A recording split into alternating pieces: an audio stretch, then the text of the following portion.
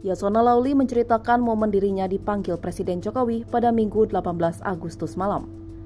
Pemanggilan ini dilakukan sebelum Jokowi mengumumkan reshuffle Kabinet Indonesia Maju. Yasona mengatakan saat itu Jokowi baru saja pulang dari Ibu Kota Nusantara atau IKN usai mengikuti rangkaian upacara HUT RI ke-79. Dalam pertemuan itu, Yasona mengungkapkan terima kasihnya atas kepercayaan yang diberikan Jokowi selama ini.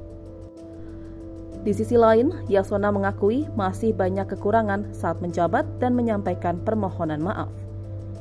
Yasona menambahkan dalam hidup tidak ada yang abadi termasuk jabatan. Hal itu pun juga disampaikan saat menanggapi pertanyaan soal isu reshuffle kabinet.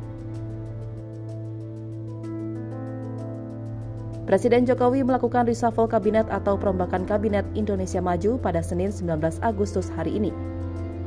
Jokowi mencopot Yasona Lauli dari Menteri Hukum dan Hak Asasi Manusia.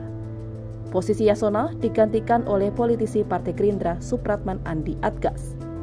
Ya, Saudara Supratman Andi Aktas sebagai Menteri Hukum dan Hak Asasi Manusia